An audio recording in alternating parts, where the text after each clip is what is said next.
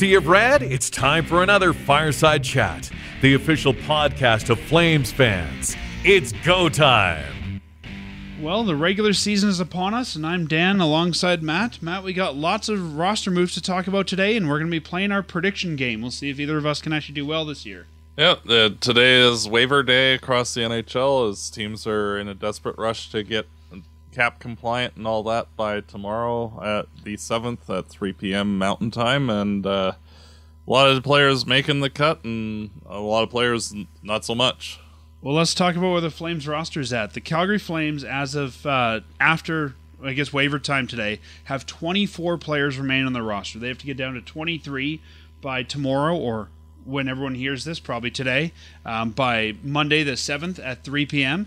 Right now, the Flames have eight defensemen, 14 forwards, and two goalies on the roster. The eight defensemen include Tyson Barrie, who got signed. You and I are not surprised by that. We've been talking about that. 14 forwards remain. We'll talk about the guys that don't in a second. But there's currently three forwards that are able to be sent down and don't need to clear waivers. Those are Sam Honzek, Matt Coronato, and Adam Klapka. One of them will need to be sent down to be compliant. Who do you think it is? Matt Coronato. You think so? Yep. You don't think it's Honzek?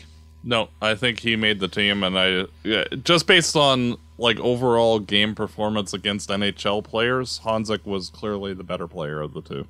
I don't know if Honzek stays here, but I think he at least gets a game or two. Yeah, it's one of those where you have to reward players who actually show up and take a spot, and Honzek he took a spot, and Coronato, he started hot against players that weren't necessarily NHL caliber. And as the competition got a little stronger, Coronato kind of faded into the background and was not really noticeable in the last couple of games he played.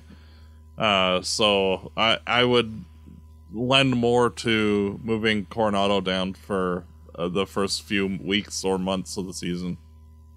Coronato looked good against young players. When we started to see more veteran lineups, I think is when he started to disappear.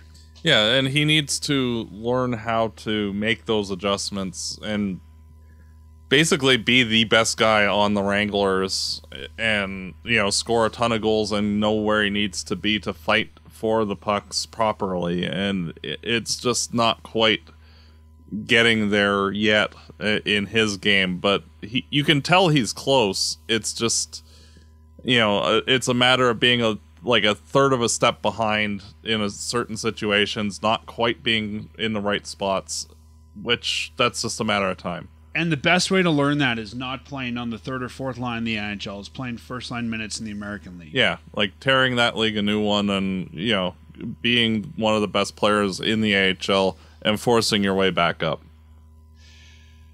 I think you're right there. I think Adam Klapka stay. I think Klapka will probably be a regular on the fourth line. Uh, we've talked a lot about taking that Walker Duehr spot. I'm not at all surprised the Walker Duehr got sent down or not claimed, but I think that uh, Klapka at least you know starts in that role, wearing number 43 for the Flames this year. He's well, shown that and, he can do it. Yeah, and you see like how Pospisil plays, and Klapka has learned a lot from uh, Pospisil, and it, like they both play that grindy, agitating, I'm big, you're not smash kind of a game and yeah. and yeah. Klapka and Lomberg together I like that idea. Yes we have an averagely sized fourth line.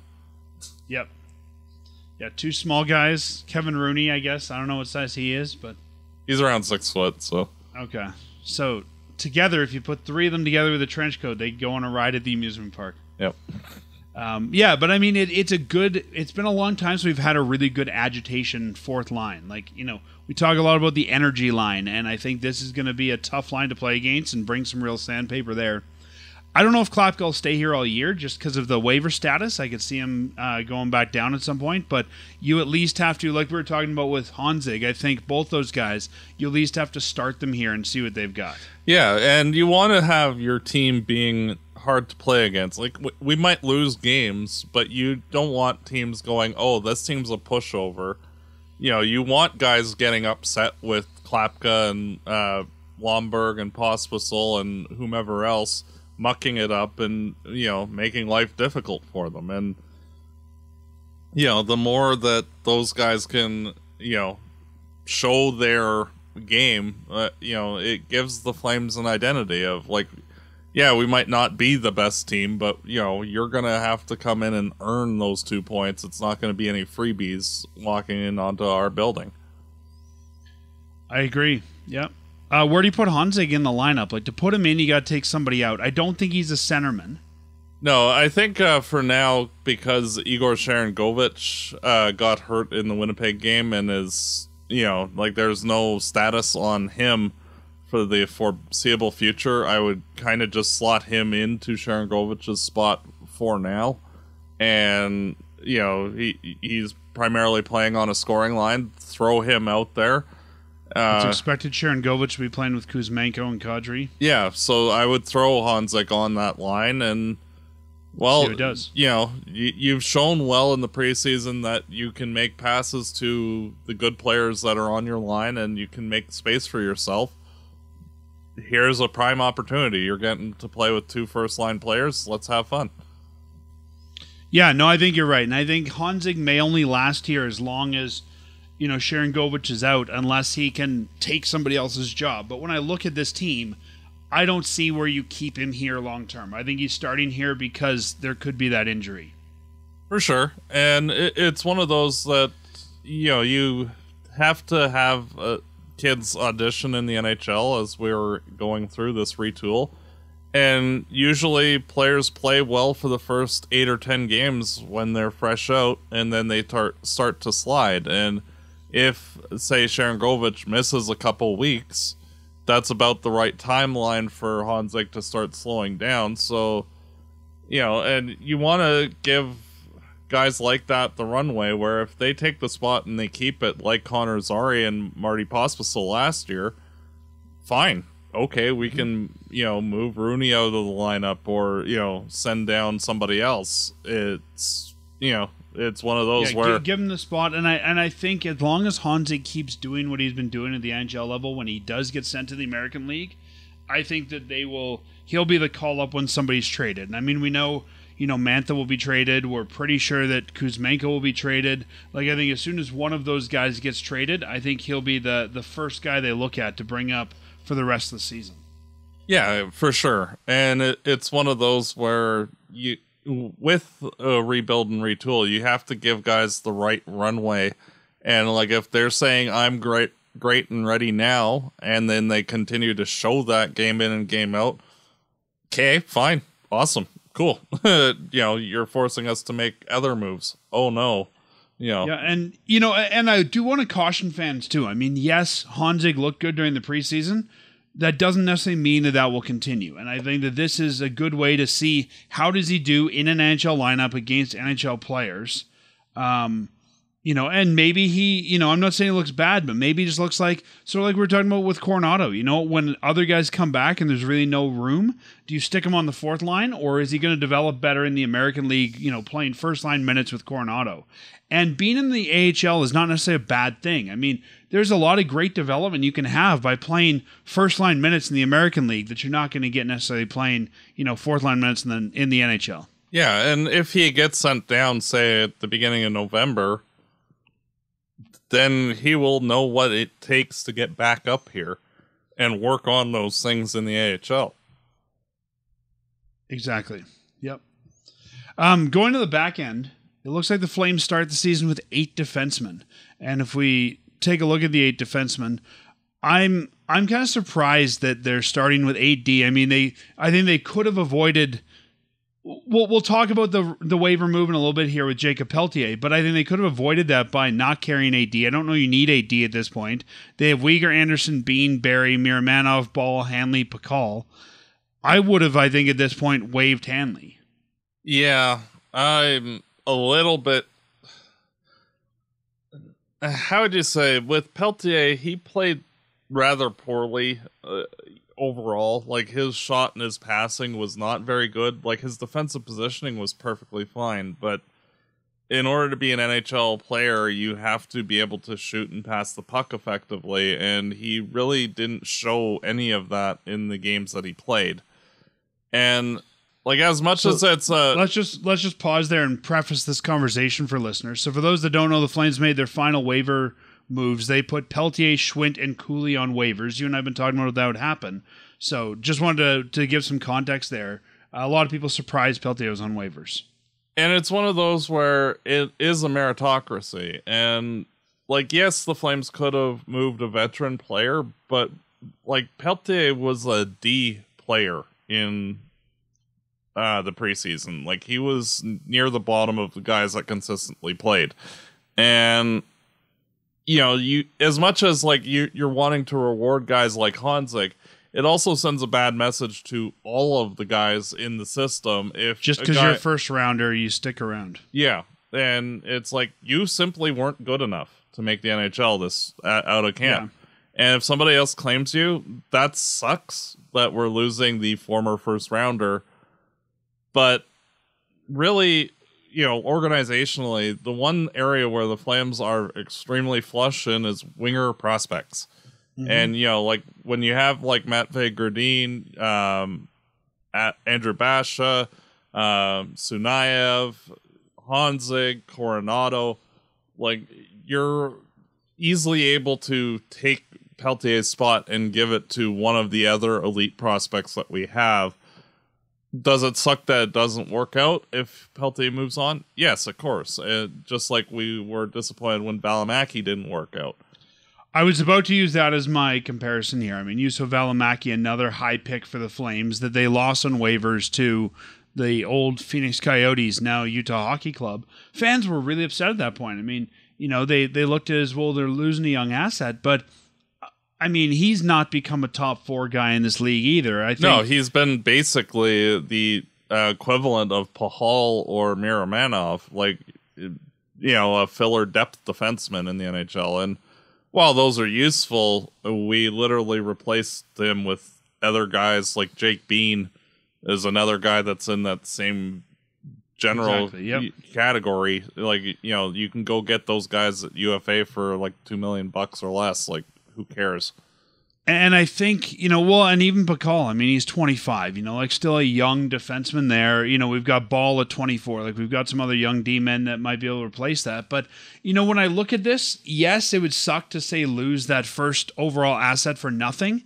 But then I also look at some guys that have come in, like Sam Morton, who really was a free acquisition. The Flames signed him as a, you know, as a young player out of college and didn't you know didn't use a draft pick didn't use an asset to get him so i think morton could project to where let's be honest where pelletier is probably projecting which is a bottom six winger so even if you lose one asset if you get the free asset in my mind it kind of evens out Yeah, and it, it's not like the Flames also like organizationally don't have winger prospects. Like between that and defensemen, like the Flames are good.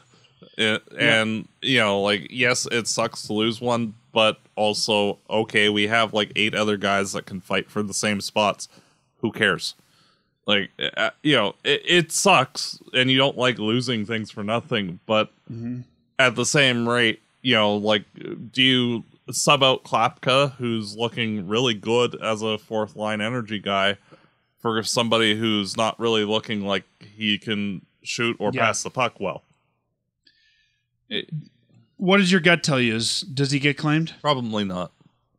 So remember, and we've talked about this before, but just for any listeners who forgot or new, if you claim a player off waivers, they have to stay on the claiming team's NHL roster for the season. If that team decides to waive them, Calgary the get first- first, pri- Yeah. first right to take that guy back, and then if not, he goes back on waivers. And looking at rosters here, I can't see a team that would be comfortable. I mean, yes, he's cheap, but I can't see a team that really says we need this guy on our roster.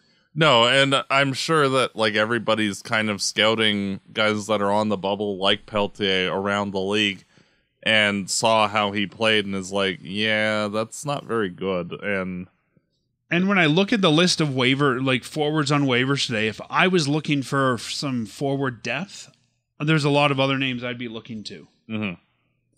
You know, I mean, look, yeah, I mean, we won't, you know, go through them all yet. We'll talk about that in a minute here. But, you know, guys that I'm looking around going, you know what, there's, even if they're not as good, I think there's more known commodities there. Yes, and like that's not to write Pelletier off as a player or a prospect, but like he needs to have some time, like another full season, to reestablish his game. And you know, it, it shoulder injuries, especially having two of them. Like we saw Monahan when his hip problems, and like he was terrible for a while. Then had the surgeries, got better, af- but like it took him like another year or two to actually become himself again. And you know, like Pelletier, you know, a year from now might be an NHL player again, but it for like the player that he is right now, like there are several guys that are ahead of him. And even if he's an NHL player, I don't think he's really anywhere top six forward. No. Right. So I think if we look at that, I mean, I think Coronato at this point has a bigger upside than Pelletier. I think Honzek has a bigger upside than Pelletier. I think, you know, Sam Morton has a bigger upside than Pelletier. I think there's a number of forwards there um, that, you know, if I'm looking to, let's say we move on from Mantha and we're looking to fill that spot, and there's other guys you'd go to first, unless Pelletier really, you know, tears it up in the American League. But as the depth chart sits right now, I think that, you know, yes, it's sad to lose that asset, but I think, you know, you mentioned Juuso Valimaki as a great example. It hurt at the time. Nobody's thought of him since. No. And It's not like every day we sit as Flames fans and go, ah, Valimaki, the one that got away. No, like and you know, like every once in a while you have like a Marty St. Louis situation where like one actually did get away. But like that's not the case here, and it's not like he was showing oodles of sk- skill during the preseason and he got cut anyway. Like he looked like a the thirteenth forward, frankly, on a, you know. Even the 14th forward. hmm I mean, he looks like he needs to play in the American League, right? And I hope he gets that chance where, you know, here or somewhere else. And just remember that just because he goes away doesn't mean he's gone forever. I mean, you know, maybe he goes somewhere, maybe, you know, it doesn't work out there. Maybe he's on what, a one year deal? Like maybe he re signs here in the offseason and, you know, goes to the American League then. Is like, I, I, I just, if you like this player, I don't think he's necessarily gone and he's going to haunt the Flames. No. And realistically, like if he gets on waivers again, if he gets claimed, then you know Calgary definitely has the first right to take him back. So yeah, I think the other thing here to remember is this was not this general manager's pick, right? This is the last general manager, and I think if Treliving was still here, you might have seen a different result because GMs tend to like their own picks. Um, but I think the fact that this was not Connie's pick I think really, you know, I think you can evaluate it more objectively. Yeah, and also players that suffer serious injuries, you know, like we've seen in like our own team's history, like Daniel Tkachuk, where he looked like he was going to be a surefire top six forward, and then he got a concussion and was never the same, and things like that happen where you know, like Pelletier did look like he was going to be a good middle six forward, but that shoulder injury, the first one and then the second one, you know, like that might change his trajectory permanently. And, you know, things like that do happen and it's awful when it does, but, you know, that's also life. We as fans tend to overvalue our own pieces. You know, we tend to think our prospects, I think, are better than they are a lot of times. This is going to let us see what is Pelletier is somebody else willing to take a shot on him, to take him for free? And if they do, maybe he is an NHLer.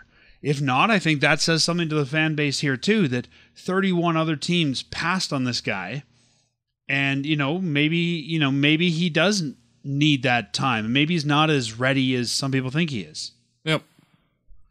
Um, the other two guys on waivers, Schwindt and Cooley, either one of them surprise you? Not really. Um, Cooley, I think, was signed to be the AHL starter. He just had a pretty was. decent uh, preseason. And, you know, he, he might be found money if he has a really good season in the A, but it's no r- rush. And, you know, a couple of good preseason games does not make an NHL goaltender. No. And really, I mean, he had to supplant Vladar or Wolf, which he didn't. Yeah. And you know, I was worried a little bit last week. I thought he's going to go on waivers. We know he's going down. Like you said, he was brought in to be an NHL guy. But somebody might look at him and go, "Geez, we need an NHL goalie. Let's take him." But when I look at who's actually available, Cooley would not be my first choice. No, and like a guy like James Reimer would be Phoenix Copley. Yeah, like if you're a team like Anaheim who's having goaltending issues, like those guys are proven like they can actually start 30 40 games for you without an issue where Cooley's only played in 6 games in the NHL with a very terrible San Jose team. So you know, like if you're actually needing a goaltender, there are very much more reliable options for you. Yeah, even even if you're just looking for like a you know such an American League goaltender, because again, you got to take him. I could see a guy get taken and waived, but again, but yeah, I, I think that there's better options out there, and that makes me feel a little bit better as a Flames fan. Yeah, I mean, I could even see in the right scenario somebody taking a shot at Matt Murray. Yeah, and uh, you know, and with uh, Cole Schwindt, he just hasn't shown enough yet that he is a full time NHLer. No, And I thought he might make the team because they need a centerman, but Um, with Rooney playing as well as he has, like he is not the when we first signed him, Kevin Rooney. Um, he's looking more like he was with the Rangers and the Devils. So um, that's more than fine as your fourth line center, and um, you know it, it's one of those where Schwindt needs to w- develop into an NHL player, and he's not he's kind of getting to the point where he's a little bit too good for the A, but not quite there for the NHL. So he needs to take that next step if he's going to make it. I agree. Looking at the list of guys, though, and uh, fans can look it up if they want to, or listeners, um, there are some interesting names I thought might be worth the Calgary Flames taking a swing at on waivers. We last year we saw them pick up AJ Greer on waivers, and I think that there's some guys here where you might say, you know what, if we need a number 13 or number 14 forward, because I think we're good for defense, maybe it'd be worth bringing in a more veteran guy. So I'll talk about the veteran guys I'm thinking of here potentially. I think they still need like an extra center. They they don't even have enough centers as it is, and three centers I thought might be interesting. Um, one of them is from Boston, Patrick Brown. He's a 32 year old, so you'd be bringing him in, you know, sort of for that veteran presence. Last year he played 11 games and had one point, 32 points in 42 games for Providence. Um, but again, a guy who I think could step in you know, in an emergency, in a in an injury scenario, and be okay. Yeah, and if the flame, I think that would be a situation where if the Flames claimed him, they'd probably put him right on waivers and try to sneak him down to the farm. Um, but it, it's one of those. I think at that point you'd probably waive Hanley and keep uh, keep Brown on in the NHL. Yeah. because you don't need eight D. Yeah, it, it's one of those where it's not enough of like it, it. It'd be different if like the Flames actually had an injury to one of the centers. Mhm. Um, that you would just uh slot that guy in temporarily as like your fourth line guy, but with I'm just kind of thinking not even the fourth line guy, but almost the Michael Stone of the forwards, like the the reliable veteran guy, because you don't want a you know you don't want a guy like um, Honzek to be sitting on the bench. You don't want you know Coronato to be sitting in the press box. So I'm thinking just a guy you can bring in to be your extra forward, who you know can do the job for a game or two when you've got somebody out. Adam Gaudette, uh, another centerman, last year played uh, two games in the NHL and 64 in the AHL, got 71 uh, points in 67 games. And Zachary Aston-Reese, another guy, again, played last year. Uh, Detroit, three games, had no points, but a guy who's been around for a while. And Matt, I'll give you the one I think is the most interesting. Centerman Ryan Suzuki, I was surprised to see on waivers. He uh, has really not played in the NHL yet. He's 23. But again, if you're just kind of looking for a, a centerman who might develop into something, I still think there might be some there with Suzuki. yeah, and if the Flames needed an NHL center right now, I think that that any of those would be a good option. I just don't know, uh, especially with having 14 forwards already, that uh, you know you necessarily need to get another guy and like send Honzek or Klapka down just to you know have that like to, to me, guy. I would I would probably keep in that case. I'd probably keep Klapka, send Coronato and Honzek down because I still think that they both need some NHL experience, and then pick up another veteran NHLer yeah, or not even veteran NHLer, but like an older guy who who knows what it takes to go from the HL and NHL and can be that that extra guy. And if he you know if he doesn't look great, you're kind of hoping a kid will pass him. yeah, the Jarred Tinordi of the forward group, basically. There you go. Yeah. Um, so just some interesting names that were on waivers there that I thought might be worth looking at. Um, if I would say if the Flames lose Pelletier, like it's almost too bad you can't put in a conditional pick and say if we lose this guy, we'll take this guy. I think almost trading one 23 year old for another in Suzuki might be an interesting move. Yeah, uh, I'm not overly concerned one way or the other. Like the Flames, I, I feel like they have enough veteran talent in the lineup generally anyway that it, the urgency really isn't there. Uh, like in past years, like getting Greer, for example like that made sense because like the young guys weren't ready um, to start the year, so getting an energy guy like Greer in made sense. But you know, like right now, as the the organization sets, I think we're actually good. Well, let's talk about that then. Taking a look at the roster, you say they're good. Where do you see the biggest weaknesses for the team this year? Um, high end skill. Um, like they really need like the first line scorer guy, the not necessarily as good as, but guys like McDavid, um, or like how we used to have Gaudreau and Tkachuk and Monahan, uh, Lindholm, like that the upper echelon guys. Like we do have some serviceable players, but we don't have any truly high high end guys right now. And everywhere else, though, I think that the Flames are fairly good. Uh, their defense is okay. Um, they could use another good defenseman or two, but that uh, again, for where we are, for, everything's for, fine. And for where they are in this, you know, rebuild, retool cycle, I think the defense is okay. Like, is it going to take you to the Stanley Cup? No, but it's not designed to. No, and like realistically, like this is a team that profiles to be a bottom ten team, and yeah. you know, not necessarily like bottom four or five, like this Sharks level bad, but you know, like we're not going to win a ton of hockey games this year. And you know, when you don't have a ton of skill, your goaltending is, you know, you're you've got a rookie goaltender with a backup who hasn't had a full season as a starter. Um you know, like and the defense core as it is, like you're you've got enough weaknesses like where this team on the whole should not be very good. Um they could surprise and push for a playoff spot, but basically everything would have to go right in that case. But like when you're talking about the D being weak, and I agree, like I think that's one of the issues we're going to see. But when we look at okay, who could solve that? We've got Jeremy Poirier, we've got Hunter Brzustewicz, we've got you know Ilya Solovyev. Like the Flames have the pieces that need some maturing in the American League, but help is on the way. Oh yeah, for sure, and. Uh, as much as like we have placeholders up front, we have plenty of placeholders on the blue line, and having a guy like Tyson Barrie and Jake Bean and uh, Pachal and Miromanov, like all of those guys are basically designed to be tradable pieces if necessary. And yep. you know, and especially at, at, the trade deadline, like if guys like Poirier and Brzustewicz say are playing so good in the AHL that you want them up at the end of the year that gives you carte blanche to move on from some of those other guys and you know change things up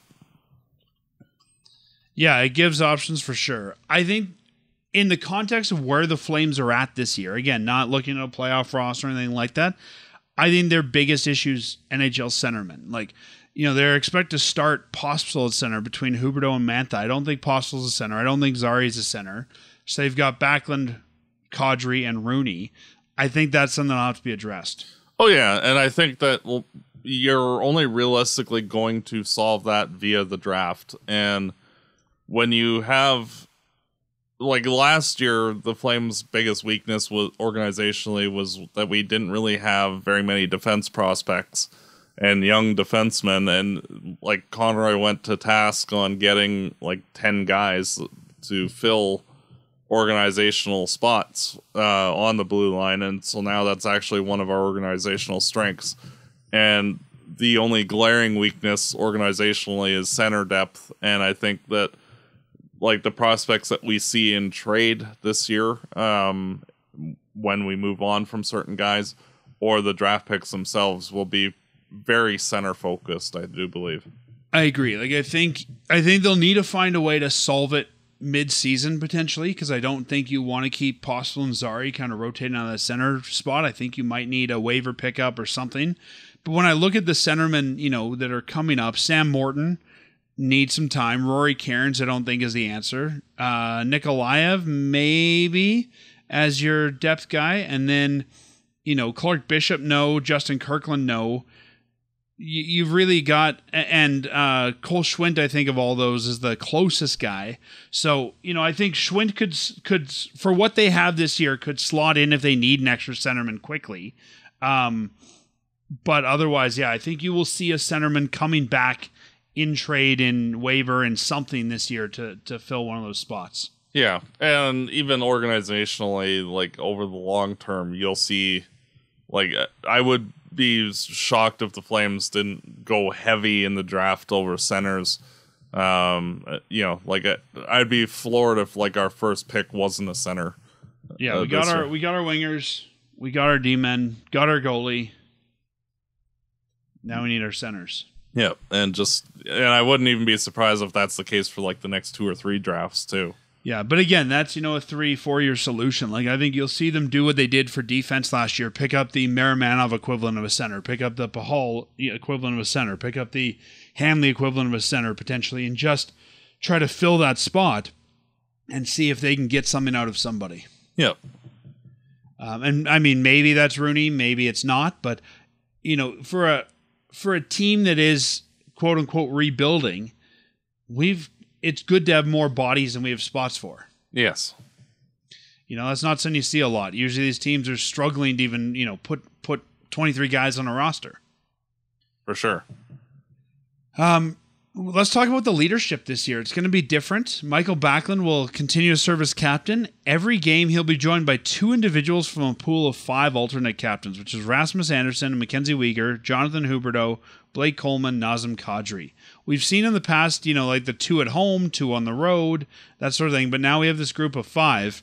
I hate to be the equipment manager that has to switch the A every game and how they're going to pick that. But you know those are those are your leaders right those are your veteran guys on this team and i'm glad to see huberdeau and kadri in there because i think they're the you know the guys that have done this the longest they're the guys that had the most success doing this um, I, I like the group. I'm not sure how the rotation's going to work or how you make sure everyone's fair or even if they care, but interesting way to go. Yep.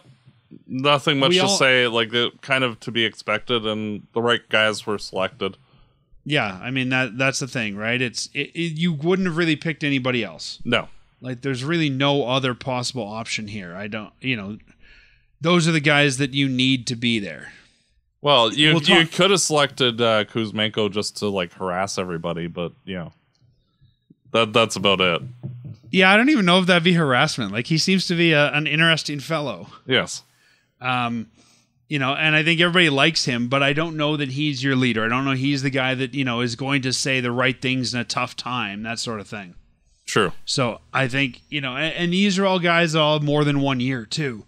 I don't think you want Kuzmenko there and then he gets traded or something like that. Like these are all guys that are Flames past this year theoretically. Mm-hmm. And guys like you know um, Mackenzie Weegar, guys like Huberdeau, guys like Kadri, who have decided to come to Calgary, right? Guys that committed their future here, and I think that's important right now for the team as well. When you're looking at, you know, showing that this is a place we want to be and want to play. Yep. Well, Matt, with that, I guess the next thing is to jump into our season predictions game. You and I have had hot years, we've had cold years. I, I'm curious how we're going to yeah, do this. sometimes year. the crystal ball is a little murkier than we are used to, and you know, other times we're bang on. So it depends on how the team does and what their season looks like. So grab your microfiber cloth and polish up your crystal ball. It's time for the prediction game. So for those that don't know, Matt and I will make predictions. I think we've got uh, about 20 things to predict this year. We will make these predictions, then we will look back at them at about the 40 game mark to see how we're doing at the at the middle of the season, and then we'll look back at them at the end of the season. Last year, you and I did not do well at all. Gee, mild shock there. like the team um, really didn't either. So well, no, but that, but that's it. We expected more from the team last year, and so we we didn't do great. No. All right, you ready, Matt? Yes, definitely. Who, if anybody, produces at more than a point per game pace? Zero. You don't think anybody? Not a one. I'm going to say Andre Kuzmenko. I think this might be the year that he breaks out. I think he's finally in a market where he doesn't have a lot of expectation. I think he's in a market with a coach that is giving him a, a chance. I mean, if he is on our first line, I think you could see him.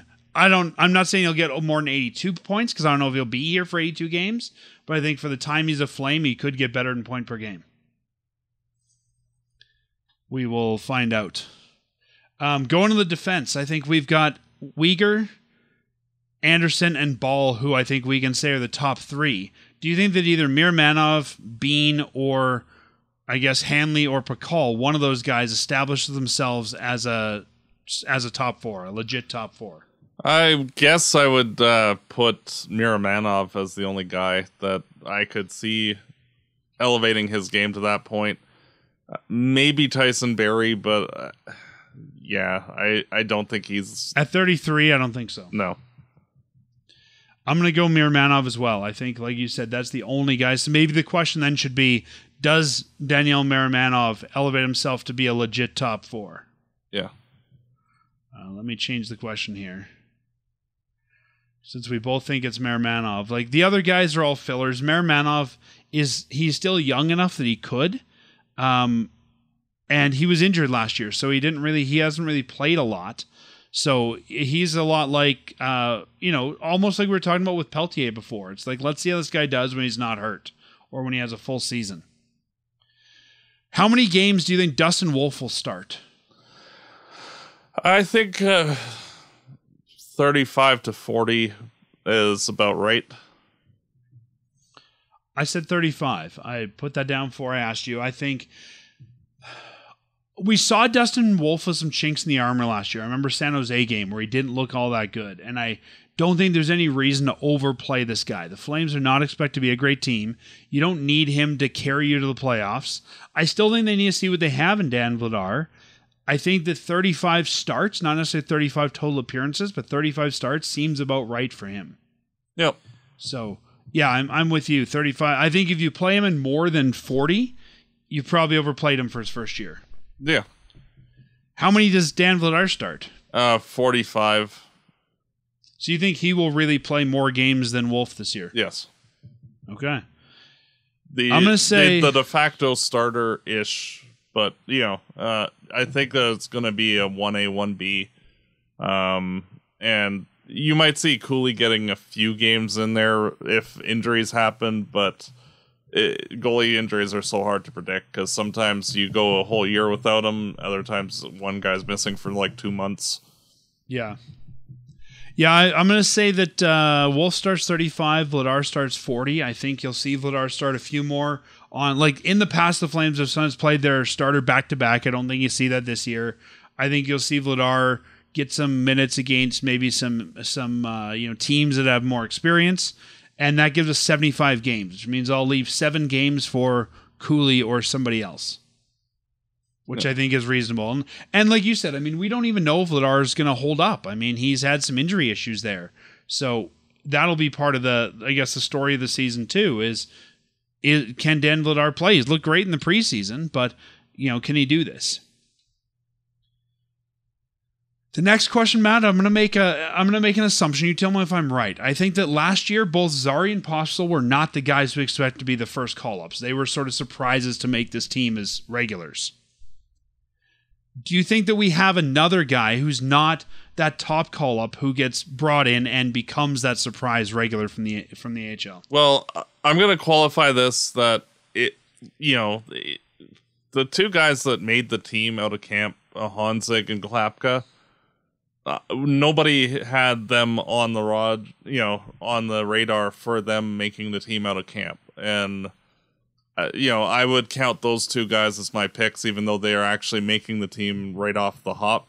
Because uh, I I feel that both of those guys were expected to start in the AHL and like earn their way up, like Zary and Pospisil did. But you know, uh, them playing as good as they have, like you kind of have to go with that.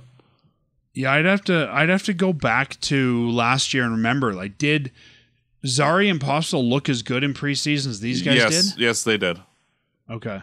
Like a lot of, Yeah. I remember a lot of people were somewhat surprised that the Flames didn't let Zary or Pospisil start the year, but then like it, it was less than a month into the year. I think it was on like the 26th or 27th of October that they got recalled and then stayed the rest of the year. And I think a big part of the, I mean, that was a perfect storm in a way, too. I think that, you know, Pelletier was out, so they needed somebody else to come in. Like, I don't know that if Pelletier was healthy, those guys would have been the first call up there. Um, what do we want to say, I guess, being an NHL regular? How many games do we want to qualify this with? 60. 60. Okay. So you got to play way more than half. Yeah. Um, all right. I think Honzek and Klapka is a good one. I'm going to go a little bit different. I'm going to say Coronato, who I think will probably come up at some point, and I don't think it's going to be a D man. Um, I think I'll say I'll leave it to Coronato. I think Klapka, if he starts here, yeah, probably makes the roster. I, I don't know if that's a surprise. We'll see because he was on the bubble last year too. Um, and he had some NHL time last year. So, yeah, we'll say Coronato for me, Honzek and Klapka for you. Yep. Who has a breakout season? Hmm. Or does anybody have a breakout season? I guess by breakout, we could say, I don't know, what are we going to want to qualify that? Like their best season or the season where they make the most improvement? I'm gonna have to go with uh, Connor Zary. I think he's going to establish himself as a true top six forward. Okay. Um, By the number of points he yes, scores? or- yes. Okay. Um, I I view it as like somebody who, uh, like takes their game to the next level, and I think that uh, Zari, I, you know, I I felt that like he was like a good middle six forward. I think that he's going to push himself up in the lineup even further. I think that's fair. I'm going to go a little bit different. I'm going to say Kevin Bahl. Yep. I think Kevin Bahl, this will be the year potentially that he establishes himself as a real. I mean, we talked about Miromanov. I think Kevin Bahl was brought in here to be a top three, so he wouldn't be a surprise if he got there. But I'm going to say that I think that Kevin Bahl really established himself as a guy who is coming in here and is ready to, you know, to take that role. And I think this could be his breakout season. Who's going to struggle this year? Number ten.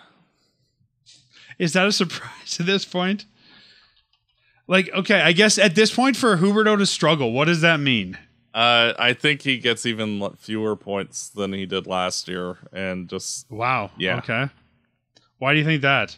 I he uh, looked invisible during the preseason for long stretches. Like he had one good game in Edmonton when he was playing against uh some le- well, it's Edmonton. you know.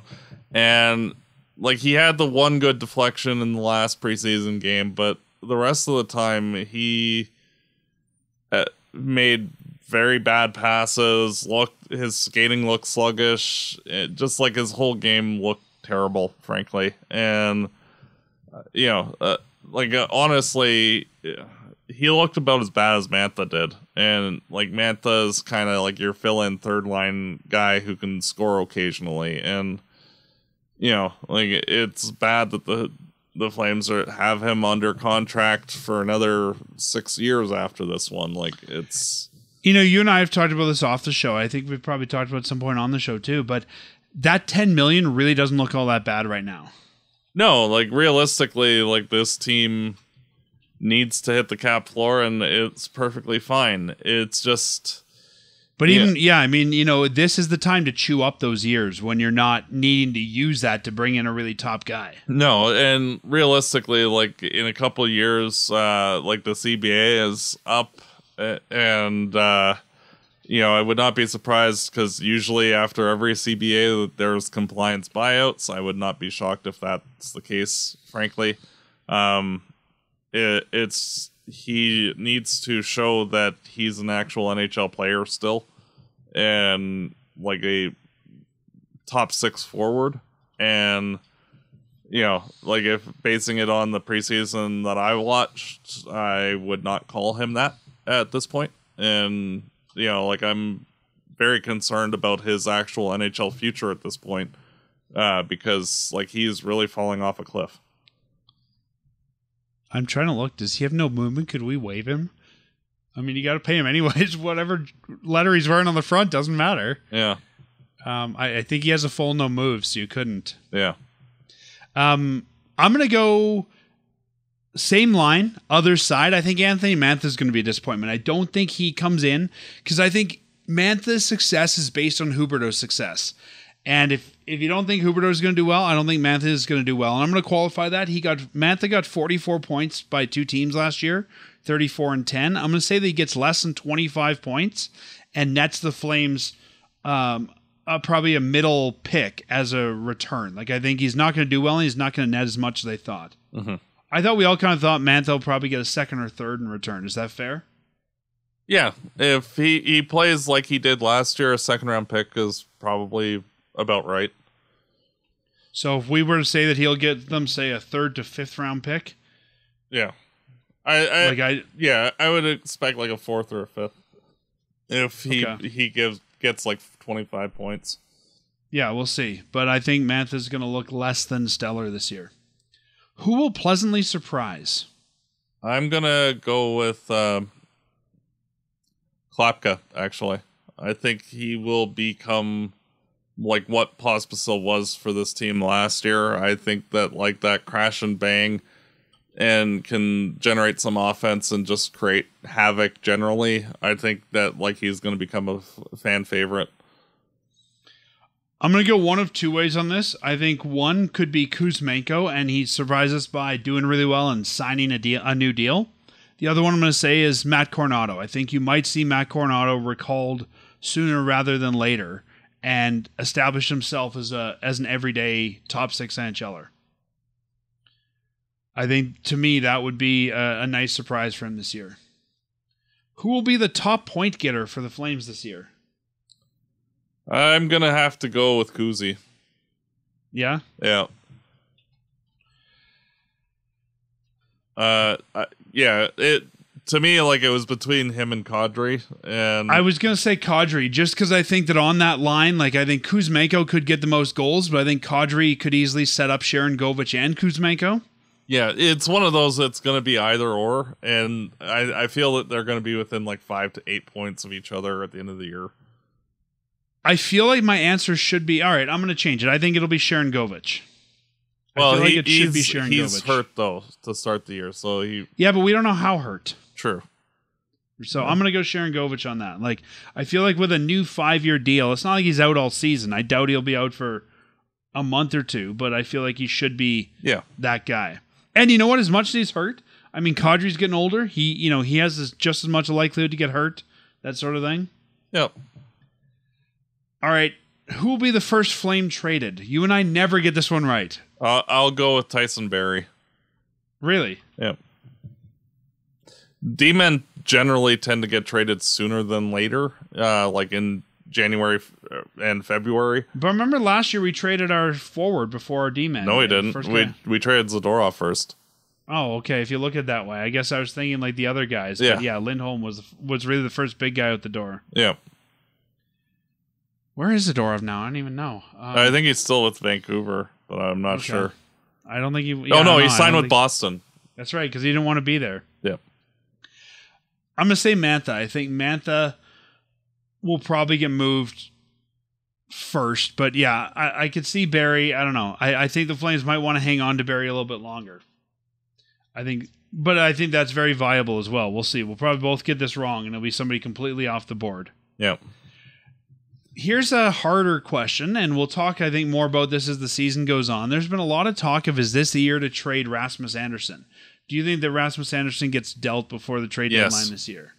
Yes, and I think um, the reason for that is he's on such a good contract, and uh, he still has one more year after this. And realistically, he he will be the best player available at the deadline. Period. And teams like his competitiveness, the fact that he can get 50 points, the fact that he can hit you know, and play excellent defensively. Uh, you know, unless he specifically requests not to be traded, I would assume, you know, like he's like, I want to sign like a long term contract with you. Um, I would assume that he would get traded at the deadline. He has two years left at 4.5 million a year, and he has a six-team no-trade list. So it does still leave the Flames the ability to move him to quite a few teams if they wanted to.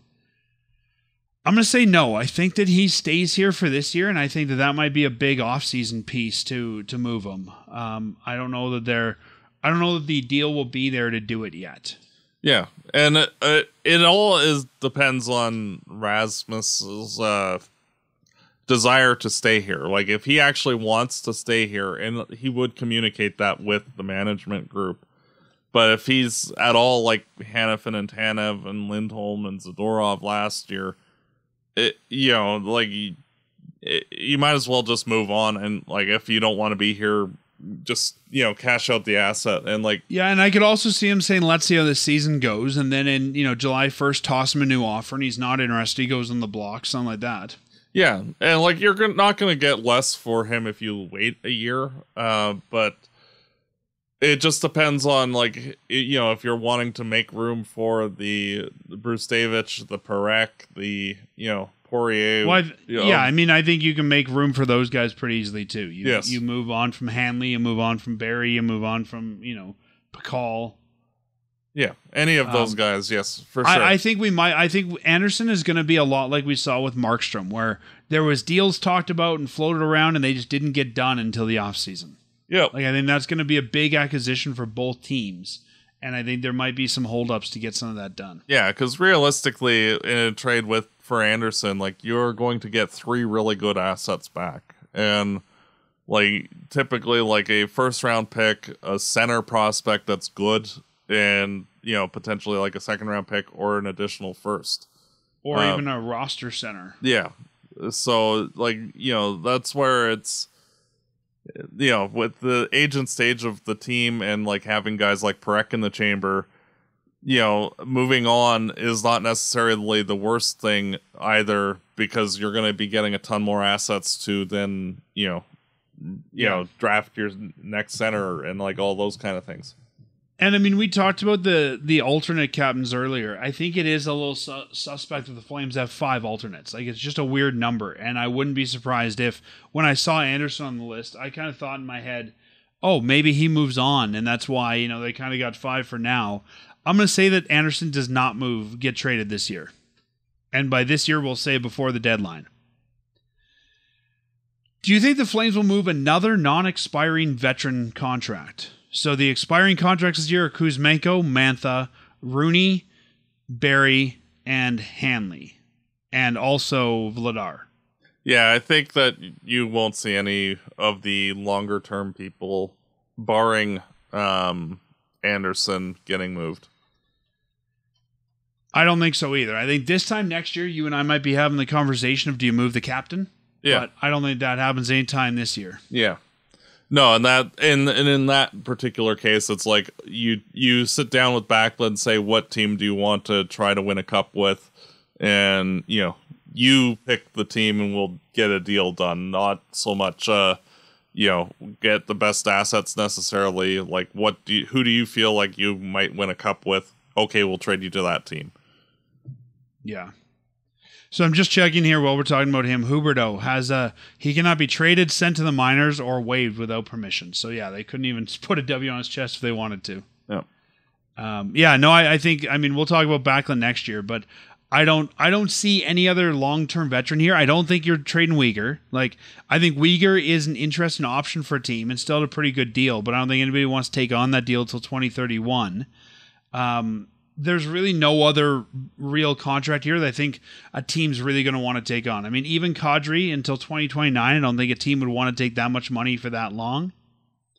Yeah, You're not moving. You're not moving Sharangovich. Lomberg's too expensive to move. Like, you know, Pospisil and Zary don't get moved. There's really no other veteran that makes sense this year. Yeah, and realistically, you know, like with Weegar, he's basically taking uh, Giordano's role from the previous rebuild, where he he's establishing himself as the number one guy for this team, as we're we are doing the transition, and like you still need veteran guys who are actually really good to get guys that come up like Parekh, like Brzustewicz to learn from as well. For sure. And he's fitting the bill 100%. Yeah, I think you keep him here for sure. All right, here's the question that we ask every year, and we've had marginal success on. Who will be the first call up for forward defense? We won't put goalie in there because there's really only one option for goalie. I don't see any r- way. Yeah, that you're not going to call somebody like gets called up unless like we have like three different goalies hurt. Yeah, but even then, he's not going to be the first call up. Like if we're that, if we're that screwed, that'd be like the year that we had to go out. Remember the year we used like ten goalies? And Yeah, found Tyrone Brathwaite again? Gardner and yeah, Yeah. like all those guys and Moss. So who's your first forward called up? Mine's Uh, Coronato. Yeah, I would go with Coronato as well, and I would go with Brzustewicz on mo- the blue line. Really? Yep. Okay, I'm gonna say Soloviev is the first guy to be called up on the blue line. Because I think that if you're calling up a guy early, you're gonna want someone that you know is close. And I don't know that that's Brzustewicz yet, but we'll see. I, I was debating between Soloviev and Poirier. I think one of those two is going to be the first call up. Yeah, and I'm kind of viewing because the Flames have eight defensemen that we won't need a call up until like the trade deadline ish, and so that's where I'm like, Yeah, oh, the only the only way I can see a call up there is if one of those guys gets hurt and they're going on a long road trip. They often like to carry an extra D man. yeah, So Uh, you know they might not they might not get into a game a lot, but you know I could see a guy like Soloviev come up or you know Poirier come up, go on the trip with them. Yeah, and realistically, I view uh, Brzustewicz as the closest in terms of being a complete NHL defenseman, not just a defensive defender like Soloviev. Um, Yeah, I, I get that. I just think that especially with Soloviev and Poirier, they're close, and you got to kind of see what they've got. yeah, You don't even see that with Brzustewicz yet. true. Do the Flames win the Battle of Alberta? Um, are you meaning a game or The whole, the overall battle. no? Weird thing. The Oilers only come here once this year. Yep. What a weird schedule. Yes, and we'll be coincidentally hosting a live show during that game. That's right. We'll talk more about that in a little bit here. I don't think there's any way. It pains me to say as a Flames fan, there's no way they win this year. No. Edmonton's going to be good. Calgary's not. Calgary doesn't win the Battle of Alberta. Though, if anybody's coming, well, when we talked about our live show earlier, our trivia night, wink, wink, nudge, nudge, here's a hint. Calgary's ahead in the Battle of Alberta overall. Yep. But this year, I, I don't think that Calgary wins. There's what, uh, three games, I think? So, Yeah. yeah, I don't think Calgary will win, uh, win that one. Where do the Flames finish in the regular season in the Pacific Division? Sixth. Only ahead of the Sharks and the Ducks because those two teams are still like two of the three worst teams in the NHL. So for those that don't know all the teams, let's go through all the teams in the Pacific Division. So it's the Ducks, the Flames, the Oilers, the Kings, the Sharks, the Kraken, the Canucks, the Golden Knights. So that's what eight teams. Yep. So you think you think they'll be sixth? Yep. Finishing up at, at only ahead of uh, those two teams, the Ducks and the Sharks. It's tough for me. I don't know. How, I think the Kings are going to take a step back. I think Seattle's going to take a step forward. I'm going to say fifth. I think they they could end up, and this is a very veteran laden team. It sounds like they want to compete. I think they could end up going out and trying to surprise people. Yeah, I just uh, don't see uh, them like the the Kraken are better than the Flames. Uh, I view, and I think feel that the Kings are actually on the upswing still. Um, so you know, like it, it it's uh, uh, not the toughest division, but it's like there are lots of good middle teams, and I just view that the Flames are below the middle teams. I think it's going to depend a lot on like last year. Blake Coleman came out of nowhere and surprised and got a ton of points. I think if you get some veterans that come out and play like that this year, this team could surprise. Well, like people. for example, like if Huberdeau bounces back and is even remotely close to Florida Huberdeau, Yeah, uh, you know, if- then you know, if like Kuzmenko this, or Sharangovich can get a point a game, yeah, like if the veterans play well, like this team could squeak into a playoff spot. It's just the likeliness of that happening is kind of on the yeah, yeah, not so much side no, of things. and I'm, I'm not even saying a playoff spot, but I think you know fifth and sixth are far from the playoffs. True, but yeah, like even in the conversation of playoffs, I don't view them as that in that conversation at all. All right. Well, that was going to be my next question. Will slash should the Flames be a legitimate playoff contender this year? You and I were talking before the show. I, the Flames have two or three uh, draft picks in the first round. I'm still confused by this Montreal pick. It's the most convoluted set of conditions I've ever seen. That one that the Flames and and did with Montreal with the Monahan deal, but they've potentially got theirs. They've got um, they've got Florida's and they've got uh, New Jersey's. Yeah, and basically, if uh, both the Flames and the Panthers finish in the bottom ten, then uh, the pick gets deferred to next year, and the Flames won't have their first round pick. But the Florida Panthers, fresh off the Stanley Cup, uh, winning it and all of that, they're not going to be a bottom ten team this year. So realistically, the Florida draft pick will transfer to Montreal, and it, provided that the Flames finish in the bottom ten, which I would be somewhat shocked if they didn't.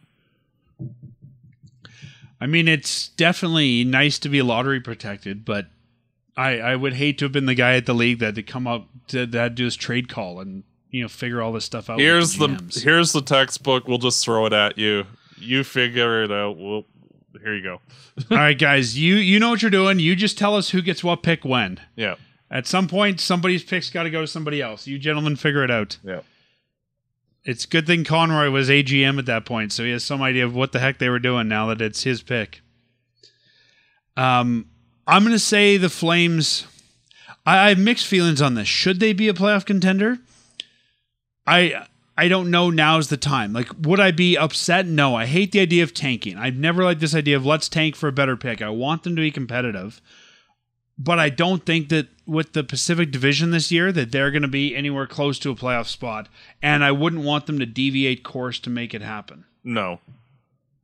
And realistically, like the more important thing for this team is to play hard and let the prospects do their thing. And you know, if they play their way onto the team, great. And capitalize on assets just like they did last year at the trade deadline and you know, keep the dryer tumbling, so to speak, of just folding assets over folding assets, and you know, keep getting more draft picks, and you know, let the team grow organically because realistically, it's the Matvei Gridins, the Andrew Bashas, the uh, uh, Sunievs, the Parekhs, the Brzustewiczes that are going to make this team good, not you know Kevin Rooney and you know Huberdeau and Kadri. Like as much as it sucks, like those guys are kind of placeholders until the next wave comes in, and like those guys are still in juniors or just starting in the AHL. You know they're not NHL ready yet, and it, At the same time, if this group of guys can find a way to sneak in, I think you've got to let them do it. Like I don't Oh, want yeah. them to cut their knees off at the deadline to, you know, sort of quote unquote tank and get a better pick. If there's enough young guys, enough veterans that can will that can will this team into the playoffs, I think we as fans have to say, you know what, let's ride it and see how far you can go. And for those young guys, a playoff appearance is part of the development. And honestly, I'm of the opposite opinion. Like, unless the Flames are firmly in a playoff spot at the trade deadline, and say like a guy like Kuzmenko is not signed, you move on regardless. And I think you definitely move guys like Kuzmenko, but I wouldn't start say moving, you know, let's say other players out. Like even if they move Kuzmenko and they can still do it, or you know they move Kuzmenko and you know let's say a guy like uh, Pelletier or Coronato comes in can still do it. I don't think you go out and try to move other players, maybe longer term pieces. Like you know if Andersson wasn't moved to that point, they weren't planning on it. I wouldn't move him just to tank the team. true. You know, so I think yeah, you. That's what I'm saying. Don't alter the course of the season. Yeah, just keep if- the game plan as it is. But if in the regular course of the season these guys can do it, I think you've got to give them the runway to give it a try. For sure. Because really, what's going to be the difference between? I mean, even if they're out first, I don't know that this year, and I haven't looked at the draft class, but from what I've heard early, I don't know that you know, tenth pick and fifteenth or eighteenth pick is going to be all that different. No. And realistically, like if we're picking 15th or 18th, we lose that pick anyway. Yeah, Uh, but it, at the end of the day, like if the Flames are say picking um, with New Jersey and uh, Florida's draft pick instead of our own because we made the playoffs, it's like, oh well. But you know, it, ideal situation is that we just move on from the Florida pick and we have our top 10 and all that. Last question for you, Matt. What do the Flames need to do for us to look back and say this was a successful season? Um, making way for young players to take those next steps, whether it's prime minutes in the AHL. Um, we already have seen part of that with moving guys like Parekh and the other draft picks back to their junior teams. You know, just fostering the making each player be successful in the situation that they're in. So that way this team can move forward. And whether that's, you know, like keeping guys up uh, all year, like say Honzek and Klapka, if they show that they can, or returning them to the AHL if they hit the wall after game five. You know, whatever it takes for the player development side of it to be the key, that's the important thing. Yeah, I don't I don't think we can put this down as a quantifiable piece, but I said something similar. I said we need to see our young players establish themselves and progress forward. I think the guys that are on the roster, whether that's the current guys or the guys that are here, you know, at the end of the year, need to have established themselves as earning that spot and taking a step forward. And if they're like Pelletier, I mean, we talked about that. If you're not looking good, then we need to move on from you. Cole Schwindt, we talked about. You know, if he can't take that step forward, then we need to make way for somebody else, whether it means moving him or just saying, you know what, you were, let's say, the top center in the AHL. We need to put someone else there. Like, I think we just need to, we need to move forward with all these guys' development. Yeah, and, and you know, if it turns out that they make the playoffs, hey, that's an awesome bonus, just like the Flames in 2014, 2015. Things like that do happen. Is that the end goal? Not really. Um, and in a way, that can actually hamper your development because, like, oh, we should be a playoff team now, and you know that tends to halt thing, you know, the proper progression of teams because you know, then your expectations are raised and and and and. Again, I think as long as they didn't change their course, like remember a couple years ago when Treliving went out and spent stupid assets on like Calle Jarnkrok trying to build for a playoff spot. Like, don't do that. Don't not move a guy because we might make it the playoffs. But if in the course of regular business we do You better than we're to, expected, That's perfectly and, and I think that says something then about your young guys too. That wow, these guys, you know, maybe it's Huberdeau. If he turns around and takes to a playoff, great. You want to foster that. You want to support that. Oh yeah. It's just you know uh, the end results on paper of the team is less important. Yeah. Maybe some foolish GM, if you know Huberdeau took us on his back to the second round, would have won him, and we could, you know, find him a new home. Like, you know, I think there's nothing. As long as they don't change the course, I don't think the draft pick is going to change all that much. Where they should not encourage it. Yes. Exactly. Well, Matt, uh, that's the end of the questions that I want us to predict. So we'll come back to those at Christmas or around Christmas time at the 40 game mark. We'll come back to those at the end of the season, and see how we did. I think it's going to be, uh, I think it's going to be a mixed bag this year Yep. for how we did. We want to promote for our fans, just letting everyone know we told you to save the date last week. We have some more details, and you'll be able to find the details on our website at firesidechat.ca and our social media by the time you hear this if you want more details. But on November 3rd, we're partnering with our friends at Bow River Brewing again.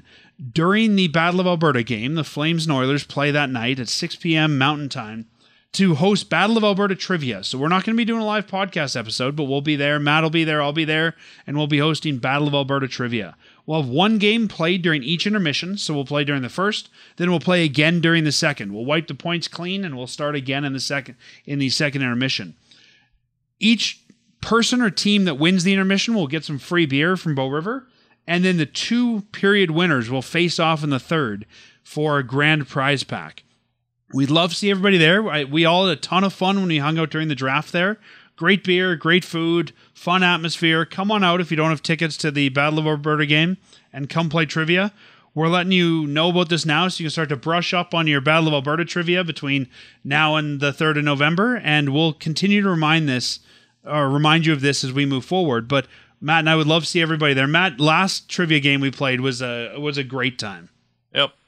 I- We- we all I- had fun. It was a lot of fun, and it was nice to get a bunch of people involved in it, and you know, it was an actual contest instead of, you know, like, oh, there's two people here and well, somebody gets a prize type of thing. Yeah.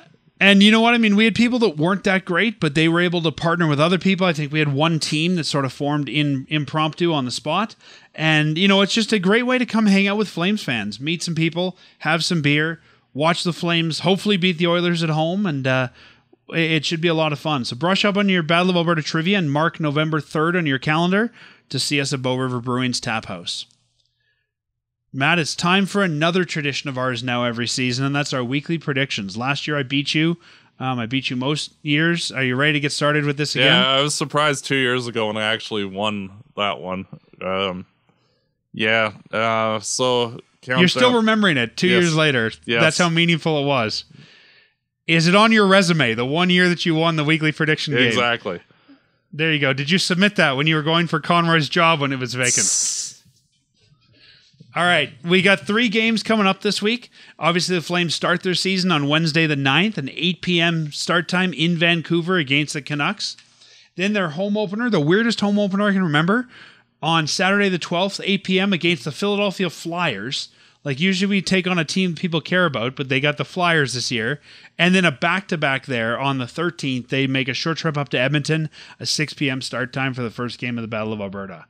Three games, Matt. What are your predictions? I will go with zero points. You think they lose all three? Yes, we always lose the first game of the season for whatever reason. We usually lose the home opener, and then we're playing in Edmonton on the night, second night of a back to back. I'm gonna say it's gonna be 0 for three. Who do you put in net for each game? Uh, Vladar for the first one, Wolf for the second, and Vladar for the third. Feels to me like we have to beat Philly. Like this is not a good team. We have to beat them at home. I, I wouldn't be surprised if they actually push for a playoff spot this year. Yeah. Who's their goalie this year? Now that Hart's not there. Uh, it's I cannot remember. It's some prospect guy, but he he was good last Okay, year. you know, every backup tries to earn their way to the starting job. This guy just got it handed to him. Samuel Ersson. Yeah, that that was it. Um, I'm gonna I'm gonna go a little bit less pessimistic than you. I'm gonna say they beat Philly. They they lose to Edmonton and Vancouver. yeah, That's my hope. They don't have a good track record of winning the home opener, but I'm hoping on uh, Thanksgiving weekend, everyone will be ready. They'll be pumped, and the Flyers will be a team they can beat. I think. I think they'll drop that first one. I think that'll give them some motivation for the second one. But a back to back with you know at least Edmonton's not far to go. But I, I think they'll drop that Edmonton game. yeah. So Matt, we will uh, talk to you next week and see how we did. But it's good to have hockey back, isn't it? It's been a long time. It has been. I'm excited for this season. And while I know there's going to be some bumps in the road for this team, I think it's going to be a, a really interesting year for the Calgary Flames. Yep, and lots to look forward to. And as always, go Flames, go. Fireside Chat is hosted by Dan Stevenson, co hosted by Matt DeBorg. This episode produced and edited by Peter Marino. Fireside Chat is licensed under Creative Commons license. For full license details, visit firesidechat.ca.